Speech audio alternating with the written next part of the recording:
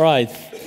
So, everybody probably has one of these a smartphone. Who could have believed that only 10 years ago, um, when people had phones, uh, these phones, uh, people thought that they could only use these phones for, you know, texting, calling, and maybe play a little game of Snake. Um, only in 2007, actually at the end of 2007, Apple introduced the iPhone, Google, Android OS. And in the last couple of years, uh, the smartphone has revolutionized the way um, we communicate, uh, we observe, and we share our knowledge.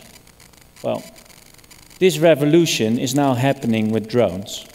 You know, it started in 2007 with a thing called a quadcopter, which actually was one of the first uh, small unmanned aerial systems uh, to hit the non-military market. Um, and back in the day, you need a really skilled pilot to fly one of these things, to keep them in the air. Now, drones are now maturing into uh, very advanced sensor platforms. And with these sensors, they can take, they can perform fully autonomous missions. They can communicate and they can work together in intelligent networks. These sensors, you know, and hardware of these drones have gotten smaller, more powerful, and more intelligent. And this makes it that these systems um, are ready uh, to see the development from hardware to a software platform. And the software platform that is built on these systems um, allows for endless application opportunities. Now think of applications like for search and rescue, for surveillance, for measuring gas, for checking for mines. There are endless opportunities. And this has a huge impact. You know, we're talking today about security. It has a huge uh, impact on the safety and security market. First of all, um, if you consider human resource, you know, it really decreases the need for human resource because these drones, they can take over tasks from people and they can do it more efficiently. Secondly, drones can sense uh, things that humans cannot detect. You know, with the sensors uh, they have, they can um, see things with things like high definition cameras, with uh, their thermal imaging cameras, with sniffers, with microphones.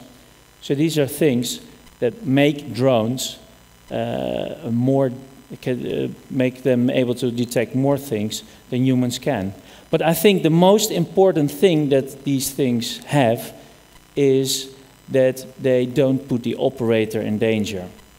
You know, would you send your uh, crew, your rescue workers, uh, to a, a, nuclear site, a nuclear disaster site, or to the aftermath of an earthquake?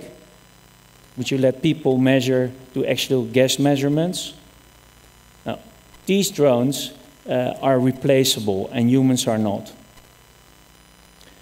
Well, and drones, they have something else in common with humans. They can work together, they can communicate. And by combining their sensor networks, they can uh, really, they can, uh, ma it makes them intelligent networks that can work together and that can do and can perform tasks much more efficiently than humans. Um, take, for example, if you're looking for a plane wreck, you know, sending out 100 drones will make it much more cost effective and will make it uh, probably much more effective to find actually the crashed plane. Then again, if the plane was flown by a computer and not by a human being, would it have gone missing? Well, if we look closer to home, uh, you will probably see drones in the near future that deliver medicine to your doorstep or check your roofs for leakage or even find your missing cat. And I think that the, um, um, you know, what's happening at the moment is if you have uh, drones, you know, that can get smaller, that can fit in your pocket, You know, that's the real future, and that's the real thing that you will see around you. And this future is happening now.